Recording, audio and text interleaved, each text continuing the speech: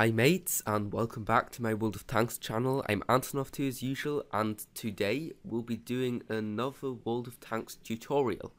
After having talked about view range and hiding in brushes and those kind of mechanics in our last tutorial, today we'll be kind of discussing the same theme when we talk about scouting. So first of all we will try to find out what makes a good scout, what kind of traits does a tank have to have so that you can scout with it efficiently. Then we will take a look at all the theory behind scouting, what you have to do in a game to contribute to your team actually winning. Because what I see lots of scouts doing is just basically drive their tank right into the enemy spawn at the beginning of the battle and then spot the entire enemy team. They'll get some experience for it, but their allies were not even close to a position in which they could have supported them with fire. So basically, they were completely useless, just wasted a tank that could have potentially won them the game, uh, just because they didn't really know how to scout. So hopefully I will be able to explain that to you in this video. And then right at the end, I will be showing you two replays that will hopefully demonstrate the two different main styles of scouting that there are and the pros and cons and how to perform them efficiently. So let's start out with what kind of stats should stand out on a scouting tank. So most scouts are light tanks, but not all light tanks are scouts. A good example for a light tank that doesn't really function very well as a scout is the Crusader. It's a tier 5 British light tank, and it doesn't really have very many stats that uh, would make it perform well in the scouting role. So what kind of stats are these? What kind of stats do you need? Well, first of all, obviously you will need good view range because if your view range is bad, then you won't be able to scout enemies at very long ranges, which is obviously what you want to do. So that's the primary thing you should look for. Then, next, you need good top speed and power to weight ratio.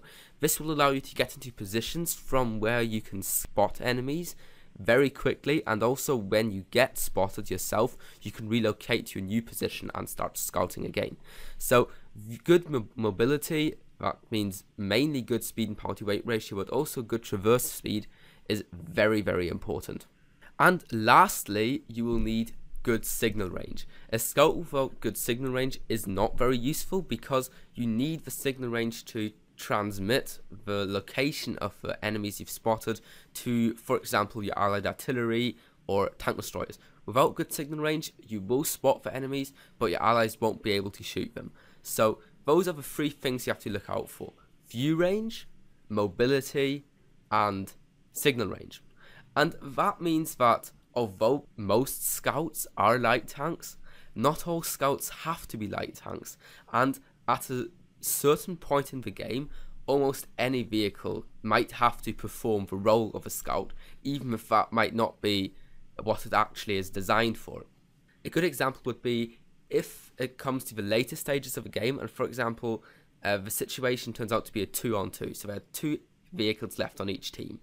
And on your team, there's you in a tank destroyer and also an allied artillery piece. Chances are you will have to scout for the artillery piece that makes you a scout, although you are driving a tank destroyer. So do not just fix your mind on scouts always being light tanks, and also do not think that all light tanks are scouts, as we showcased on the Crusader, because the Crusader, let's have a look at the Crusader stats. It gets a top speed of 44 kilometers an hour. That is really bad for a light tank and doesn't really allow you to relocate very easily, so you cannot get into forward scouting positions. Your view range is 340 meters, that is below average at tier 5. And yeah, your signal range is, I guess, alright at tier 5. I'm not quite sure, I don't really know about tier 5 radios. But anyway, the Crusader is not a very good scout. Good scouts, however, are, for example, the Chinese WZ-132 or the um, French AMX 1390. Let's have a look at the AMX 3090 stats. It gets a top speed of 64 kilometers an hour, which is absolutely great. Its power to weight ratio is 23.19 horsepower per ton. That is really off the charts. Its view range is 400 base, and I pimped it up to 449 with equipment and crew skills. and its signal range is an amazing 750 base, and the way I, I tuned it up, it's almost 800. So this tank is almost an ideal scout, which doesn't mean that you always have to play it as a scout. You could also play it as a damage dealer, an assassin, or just a kind of a yeah roaming vehicle that tries to clean up low life enemies. The important thing is that you have to analyze your team and find out before the battle starts who on your team is going to have to perform the scouting role.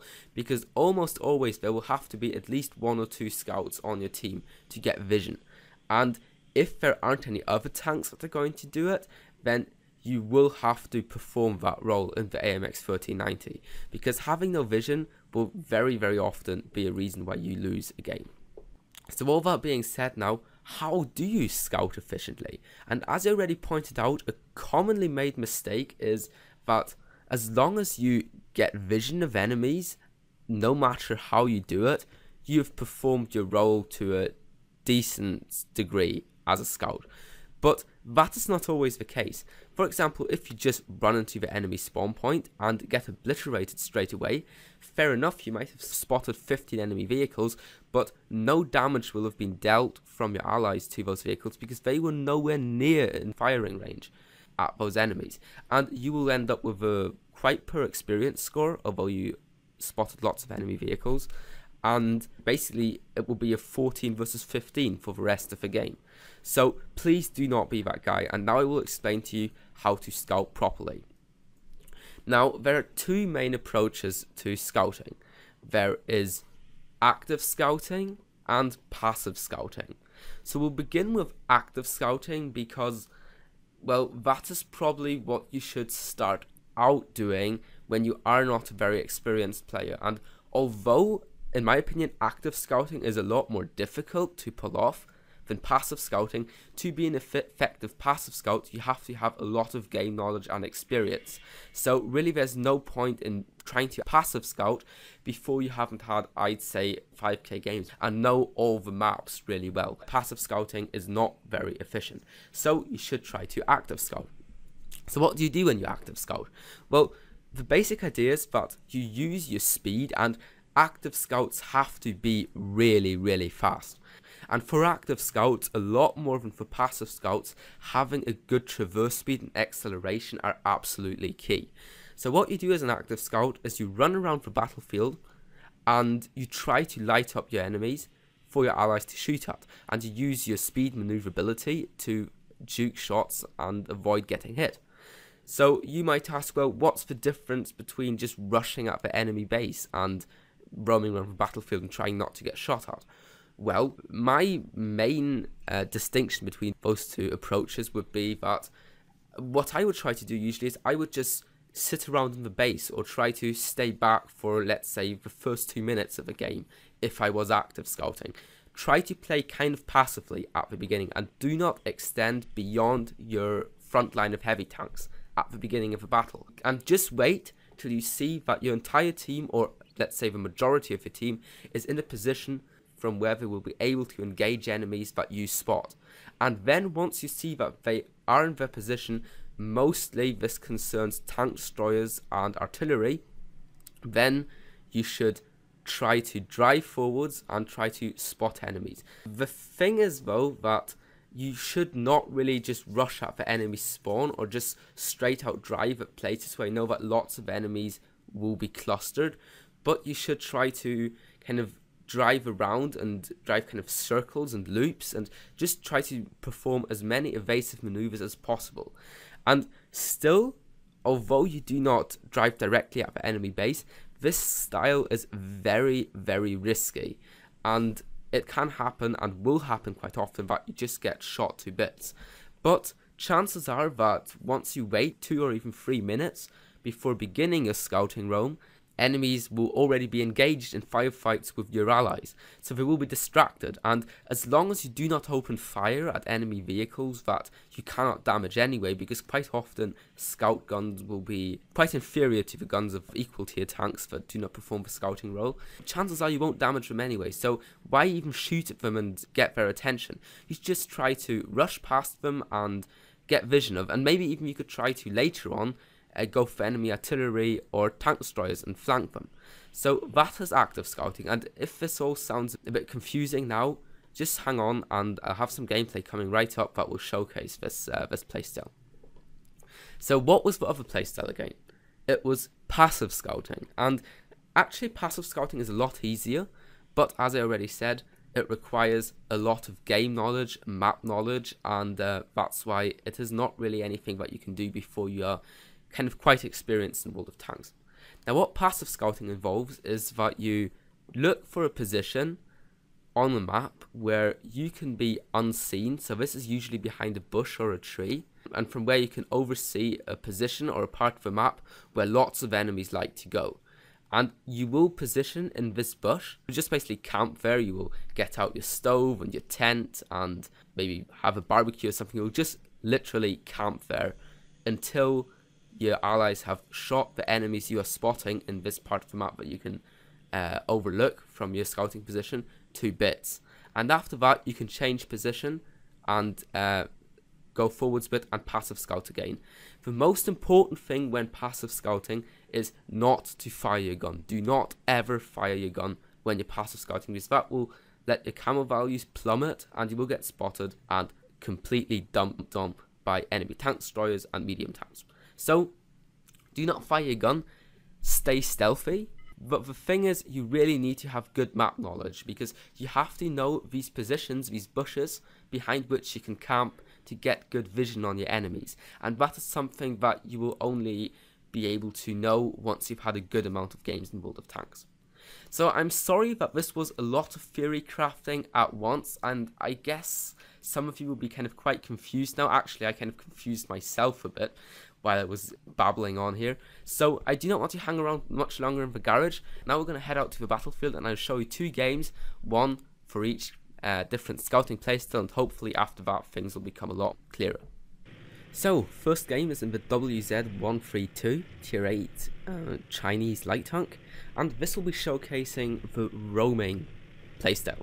So, as you can see, I am actually being quite aggressive here. So what I'm doing is I'm kind of driving forwards a bit. So my plan is to get to these bushes, this bush line here, just where the, the forest ends, and maybe spot some enemies here while they progress towards the forest. And sure enough, I do spot an AMX 1390, and he gets shot at straight away.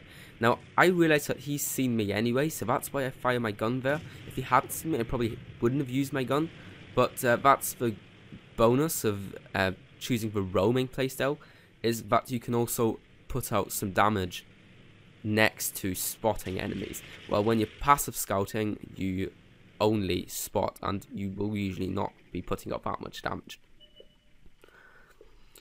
And now what I'm doing here actually is more of a passive scout, but um, I still classify this replay as roaming because later on I roam a bit more and then also I kind of, if I was actually passive scouting, I usually would not. If I had come into this game with a mindset that I wanted to passive scout, I probably would not have located here. Although by chance this actually turns out to be quite a good passive scouting location. And as you can see, thanks to me spotting these enemies, uh, this T-59 and the Jagdtiger are taking massive hits. Actually, the Jagdtiger didn't take a big hit yet, but the T-59 is getting shot to bits right now. And always remember that when you are spotting the enemy that is taking damage, you get 50% off the experience uh, for the damage that's being dealt. So actually, you can get a lot of experience and credits from just spotting enemies if you do it right. And now I have been spotted. That's why it's essential to have Sixth Sense. And Thankfully, I get really, really lucky and bounce the shot. The IS-8 misses, and now I start firing my gun again because I'm spotted anyway. So I realise now that passive, passive scouting won't be an option here anymore because the enemy knows exactly where I am, and I'm kind of a bit of a sticky situation here. So I'm just really hoping that my allies will move up now because, as you can see, there are lots of enemy heavies camping back here, and obviously they've been supporting with lots of fire, and that's the only reason why I'm alive here, because if enemies would rush me over this hilltop, they would just die instantly to the heavy tank fire from the rear. And this IS-8 is going to try it now. I fire my gun, I miss, and he doesn't even fire yet.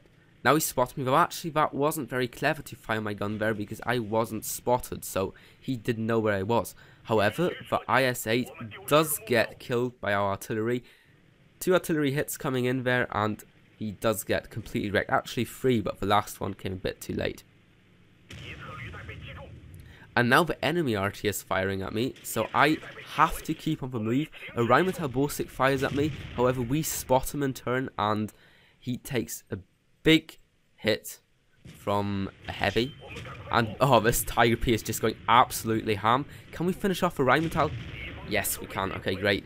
So um, again here, you see you always have to be flexible. You should never panic. Even very like I was, I, I kind of got afraid that I might die now, but I just kept calm and uh, realized that this Tiger P was just going completely ham, so I was able to pick up the kill there, and um, nothing too bad came of it. And now there's only, I think there's only a Jagdtiger and a Comet here. Yeah. So we've got the ass of this Jagdtiger. I get shot and now I have to retreat instantly because he's turning around, but he doesn't have a gun depression to hit me. And again, he takes a big, big hit, two big hits, and he's down. And this is another important element of the active scouting playstyle is if the enemies are not distracted when you get to them, then you can actually distract them. For example, this Jagdtiger turned around to fire at me, and that exposed his sides and rear to those two tier 9 vehicles there, but were able to output a lot more damage than I would have ever been able to, and thus the Jagdtiger was taken down really, really quickly. So I decided not to go for that Comet as he was dead anyway, and I now make the decision to try to light up enemy artillery. Or maybe even get them. We'll see. And now I spot a Löwe up there. And that is a really dangerous tank to engage at long ranges because he, uh, yeah, he has a very, very accurate gun. So I get spotted there, that's why I fire my gun. If your sixth sense doesn't go off, and usually you do not want to fire it because in a one-on-one -on -one against a Löwe, I mean, probably not going to come out on top. Now what I'm doing here actually is not very intelligent because and I die for it and that was not good what I did there so I'm just going to quickly highlight my mistake. I was stationary and I tried to hide behind this rock but it was way too small and I just got sniped by that Löwe. If I had moved and tried to juke shots probably I would have died too but I would have had a lot higher chance to survive because uh, chances are the players you're going to be matched up against are not going to be like amazing. So usually the aim will be quite a bit off, and uh, you'll be able to dodge like 30 to 40 percent of the shots most of the time. So it would have given me an a lot higher chance of surviving, and maybe I could have even still spotted the artillery for before I would have died. So that would have been a way better decision, and maybe this game didn't look like a lot to you, and unfortunately I do not have the post-game stats for this, for this game, but I can assure you that this was actually an ace tanker in the WZ-132, and the thing is that although I actually didn't do that much damage, and I only got one kill in this game, the amount of assistance I pulled off for my team was huge, and actually allowed my team to completely steamroll the eastern flank of this map. So, although sometimes as a scout you do not actually get acknowledged for all that you did for your team, we kind of really, really contributed to us winning this game. And probably we would have even lost if uh, we hadn't played the role that we did in this game. So, there you can see that active scouting can be efficient, but I'm now going to show you how you can be even more efficient, in my opinion, with passive scouting. So now we're on Malinovka, and this is actually the probably the best map in the entire game for passive scouting. I'm in my AMX-12T, and I'm going to show you the basically best position in the game, in my opinion, for passive scouting. And this will not work all the time, but lots of the time, and you can actually do it from the other side too. So straight away, without waiting for anybody to get to position, I drive along this kind of bit of lower land here so that I cannot get spotted by my enemies. And once I reach the um, level of progression that I want, I head up again and I'm going to locate behind this bush. And it's a bit of a shame that this Type 58 stole a bit of a glory, and he's actually playing the role of a scout, although he's in a medium tank, so there you go. However, he's doing it quite wrong because, uh, yeah, he's just kind of suiciding right there. However, we are doing it right because we're in the probably best position you can be in as a passive scout. And actually, all these enemies here, they're not being lit up by the Type 58, they're being lit up by us. And you can see how our allies on uh, at our spawn behind us here are absolutely wrecking the enemies here with long range fire. And as you can see, I do not fire my gun once.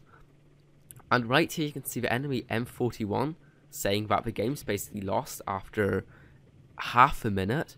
And that is true. Or after one minute actually. You can see how many enemies are down. And basically we just won this game for our team within the first minute of the game. That is how powerful scouting can be. So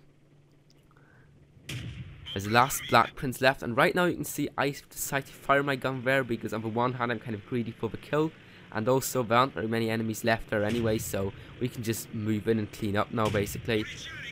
The most important thing is that even when you start firing, do never stop moving in your light tanks because the risk of getting uh, shot at is just too high and you really cannot take any punishment in these vehicles. And there you go, after two minutes, two minutes into the game, we are in the enemy spawn. And now we're spotting this AMX 12T, just waiting for a clip to come back and put a shot into him before he gets taken down. So now it's just a question of cleaning up artillery, and uh, yeah, the score is 12 to 2, so that's a very one-sided victory. I mean, okay, it's not one yet, they could still come back. Just have to try hard enough. And still, although my team has got such a high numerical advantage, I am still playing safe. I'm coming round the back through this little dip in the land here because I'm still kind of somewhat alone. My allies are not there yet. And I could still die really easily. So you can see me still playing very safe here.